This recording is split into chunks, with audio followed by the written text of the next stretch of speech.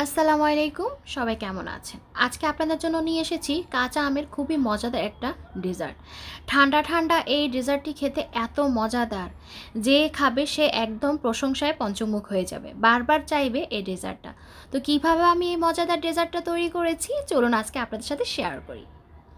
আমি এখানে কাঁচা আম নিয়ে নিয়েছি তিনটি। আর আমগুলো একটু ধুয়ে নিয়েছি তারপরে দেখতে পাচ্ছেন একটু কালো কালো দেখা যাচ্ছে, কোনো প্রবলেম নেই। যেসব আম একটু কষ বেশি, ওগুলো একটু এরকম হয়, তো আমি লবণ দিয়ে ভালো করে ধুয়ে কেটে নিয়েছি, আপনারাও ঠিক ওই রকমই করবেন, যদি বেশি একটা কালো কালো হয়ে যায়। তারপর এটাকে ব্ল্যান্ডার করে নিয়েছি, পানি মিশিয়ে, অবশ্যই পানি মিশিয়ে ব্ল্যান্ডার করে নেবেন, নাহলে আমটা অনেক বেশি ঘন থাকে। তারপর আমি একটা পাত্রে এটাকে ঢেলে নিব আর চূড়ার আগুনটা মিডিয়াম লোতে করে দিব। তারপর আস্তে আস্তে নাড়তে থাকব। নাড়তে নাড়তে দেখবেন এক পর্যায়ে এটা একেবারে পাতলা একটা পানি হয়ে গিয়েছে আর সেই পর্যায়ে আমি কিন্তু এখানে চিনি ঢেলে দিব। আমি এখানে এক কাপের মতোই চিনি ঢেলেছি মোট। আপনারা যদি বেশি মিষ্টি পছন্দ করেন, অবশ্যই বেশি মিষ্টি দিতে পারেন। দিয়ে ভালো করে নেড়ে চেড়ে নিব। তারপর দেখবেন এটা যখন ফুটতে শুরু করেছে আর পানিটা একেবারে পাতলা হয়ে গিয়েছে আর খুব সুন্দর একটা গ্রান আসছে একদম তখনই মুখে একদম জিভে লোলে পানি চলে এসেছে। তো কেমন লেগেছে এই গ্রানটা বা এই রেসিপিটা সেটা আমি বলব। আর এখানে আমি হচ্ছে কি একটু পানি নিয়ে নিচ্ছি একটা বাটিতে, তারপর এখানে কর্নফ্লাওয়ার দিয়ে দিলাম প্রায় চার চামচের মতো। অবশ্যই কর্নফ্লাওয়ারের পরিমাণটা বেশি ব্যবহার করবেন, তাহলে হচ্ছে কি একেবারে পুডিং বা ডেজার্ট যেটা বলি, এটা বসতে কোনো রকম সমস্যা হবে না। তারপর কর্নফ্লাওয়ার আমি একসাথে ঢালবো না, একটু একটু করে ঢেলে তারপর নাড়তে থাকব। অবশ্যই কর্নফ্লাওয়ার দিয়ে নাড়াচাড়া করতে থাকবেন নাহলে কর্নফ্লাওয়ারটা একেবারে বসে দলা পাকিয়ে যাবে।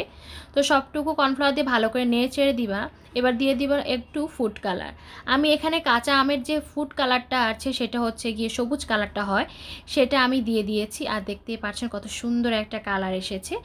চিন্তার কিছু নেই কালারটা যদি আপনারা না চান, না ব্যবহার করতে পারেন, সেক্ষেত্রে কালারটা একটু ফ্যাকাশে হবে। কিন্তু ফুড কালার দিলে খাওয়ার স্বাদেও কোনো রকম চেঞ্জ হবে না, একই রকম থাকবে। শুধু চোখের কালারের জন্য বা সৌন্দর্যের জন্য এটা একটু দেয়া।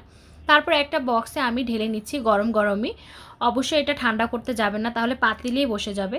গরম গরম ঢেলে নিয়ে বক্সটাতে দেখছেন পরিবেশন করেছি। আর একটু আঠালো আঠালো হয়ে গেলে এটা কিন্তু পাত্র থেকে নামিয়ে নেবেন। একদম পানি পানি কখনোই না পাবেন না। যখন দেখবেন এটা আঠালো হচ্ছে না, তখন কি করবেন? সে পর্যায়ে কর্নফ্লাওয়ার আর একটু গুলে দিয়ে দিবেন, যাতে এটা একেবারে ঘাড়ো একটা জেলি জেলি ভাব হয়, তখনই নামিয়ে ফেলবেন। তারপর এটা আমি ফ্রিজে রেখে দিয়েছি প্রায় একদিনের জন্য। একদিনেরও দরকার নেই পাঁচ ছয় ঘণ্টা রেখে দিলেও হয়ে যায়। তারপর এটা আমি একে সুন্দর করে চুরি দিয়ে কাট কাট করে নিচ্ছি। আর দেখতেই পাচ্ছেন সুন্দর সুন্দর পিচ করে নিয়েছি। আর আপনারা চাইলে সেখান থেকে পরিবেশন করতে পারেন, কাটা চামচ দিয়েও কেটে কেটে খেতে পারেন।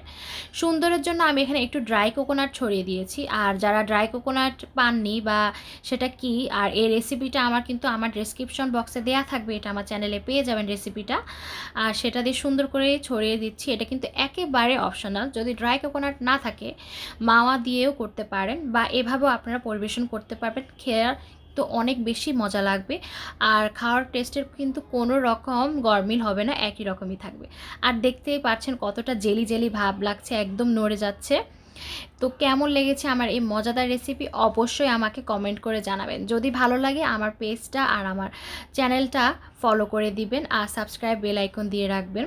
তো এমন সহজ সহজ, মজাদার রেসিপি নিয়ে আমি হাজির হব আপনাদের সাথে। আর অবশ্যই আপনারা আমাকে অনেক বেশি সাপোর্ট করবেন।